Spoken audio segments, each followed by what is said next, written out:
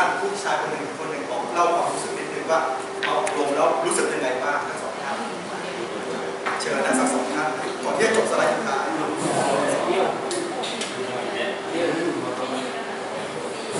สองท่านสองท่านชายคนหนึ่งหญิงคนหนึ่งอะดูกันเลยครับขอบคุณครับอ่าเดี๋ยวขับจักรยานเลยนะ ว่าเดียวนะ เดี๋ยวพูดเสียงดังนิดนึงถ้าถ้าเป็นคนเสียงไม่ดังนะ เสียงดังตลอดเลยค่ะก็ขอบคุณอาจารย์นะคะที่ให้ความรู้ในด้านการลงการเก็บในครั้งนี้ค่ะว่าความรู้สึกที่ได้รับคือดีนะคะ เราจะได้มีการพัฒนาค่ะไม่ว่าในเรื่องของการที่เคยทำไปแล้ว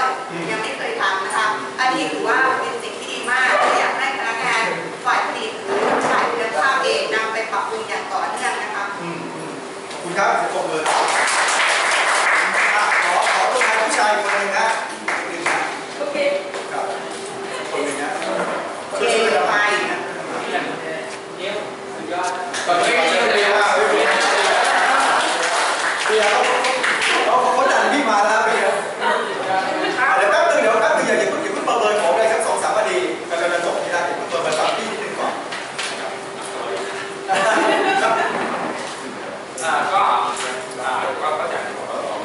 ครับเอนในความรู้ของเราครับ